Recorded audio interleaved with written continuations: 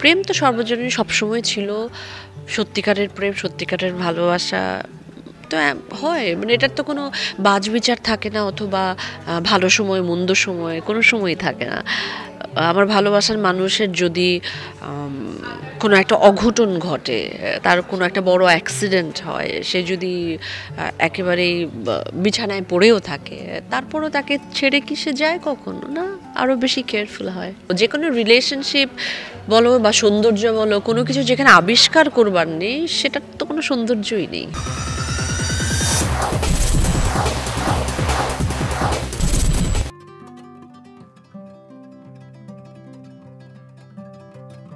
আমার সঙ্গে এখন যিনি আছেন, তাকে আমরা প্রায়শই পাই।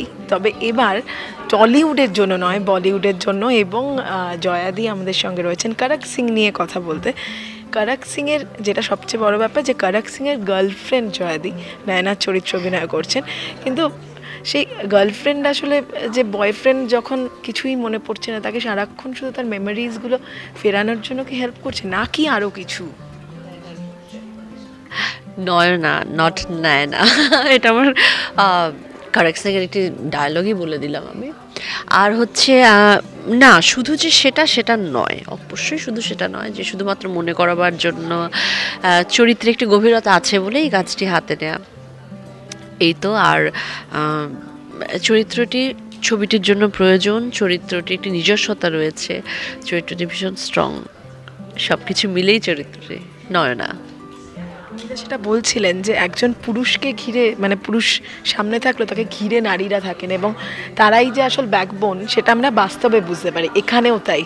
বিশেষ করে তোমার চরিত্রটা কথা বলছিল যেভাবে করক সিং মানে মেন চরিত্রের আশেপাশে রয়েছে এবং যে জায়গাটা যে কাজটা করছে অত্যন্ত গুরুত্বপূর্ণ সেটা ছবি দেখলে বোঝা যাবে। এই জন্যই বোধহয় এতদিনে বলিউডে বেছে নেওয়া, তাই তো? সত্যি বলতে টনিদার সঙ্গে কাজ করবার জন্য অপেক্ষা ছিলাম অবশ্যই আমি অপেক্ষা করছিলাম। কিন্তু টনিদা যে এরকম কমফোর্ট জোনের বাইরে গিয়ে আমাকে এটি কাজ দেবেন সেটা আমি বুঝতে পারিনি এবং চ্যালেঞ্জটা উনি আমায় ছুটে দিলেন। আমি নিলাম বাকিটা দর্শক দেখে রায় দেবে আমি পেরেছি কি পারিনি। ছক্কা অবশ্যই। কিন্তু এই যে প্রেমটা এখানে সেটাই কমপ্লেক্স নাকি? সিম্পল কারণ মজাও দেখা যাচ্ছে কিন্তু যেখানে যেখানে জটিলতা নেই সেখানে সরল কোনো জিনিসই তো ভালো নয়। লেয়ার্স থাকবে, পেঁয়াজের খোসার মতো সেটা ছাড়াবো, তারপর ডিসকভার করব। যে কোনো রিলেশনশিপ বলো বা সৌন্দর্য বলো, কোনো কিছু যেখানে আবিষ্কার করবার নেই, সেটার তো কোনো সৌন্দর্যই নেই। এখানে নিশ্চয়ই রয়েছে। আমার ভীষণ মানে ওখানে দেখলাম, এটা একটুখানি এক ঝলক আর কি, আপ শুনেঙ্গে, আপ শুনায়েঙ্গে মানে এইটার মধ্যে একটা অদ্ভুত ব্যাপার রয়েছে। হ্যাঁ হ্যাঁ এটার ভেতরে এটা শুধুমাত্র দুটো অক্ষর বলছি কিন্তু এটার পেছনে, বলবার পেছনে ব্যাক অফ দ্য মাইন্ডে আসলে নয়নার বহু কিছু রয়েছে। সেটার উত্তরই ওই সিকোয়েন্সটা দিবে পার্টিকুলার কেন মানে এখনও রয়েছে, সেটা তো গল্পটার মধ্যে আছে। কিন্তু একটা কথা বলে, এই যে ধরো একটা মানুষের স্মৃতি চলে যাচ্ছে, কিন্তু সেই প্রেমটার জন্য থেকে যাওয়া, এই প্রেমটাকে এক্সিস্ট করে বলে মনে হয়, জয়?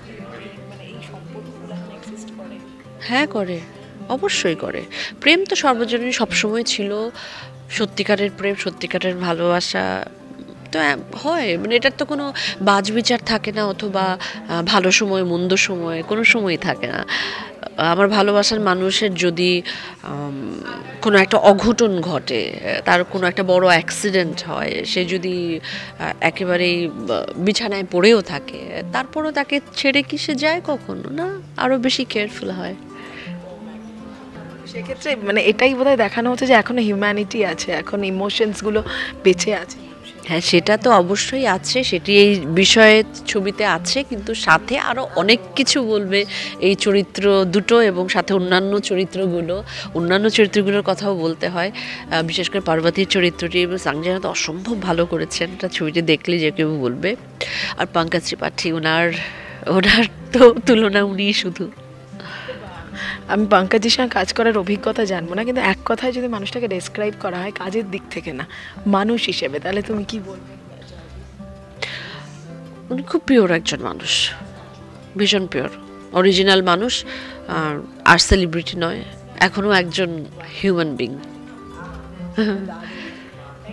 জয়দি শেষ করব। শেষে একটা কথা যে এরকম কোনো মেমোরি সত্যি ভুলে যেতে চাও? এরকম আছে জয়দির মানে চাও যেটা ধরো হলো এরকম যে ভুলে গেলে কিছু? হ্যাঁ আছে একটা আছে কিন্তু সেটা তো বলা সম্ভব নয়।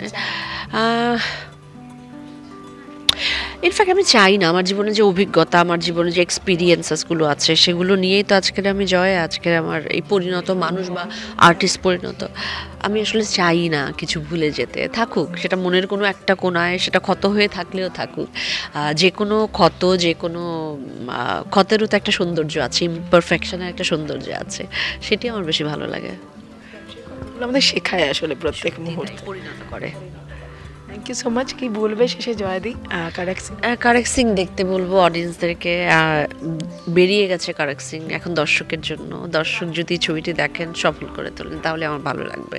সকলকে বলব কারেক্ট সিং দেখুন জি ফাইভে টলিউড ফোকাস কলকাতা চ্যানেলটি আপনাদের ভালো লাগলে লাইক করুন সাবস্ক্রাইব করুন এবং আপনাদের প্রিয় ভিডিওটি অবশ্যই শেয়ার করুন। টলিউড ফোকাস কলকাতা।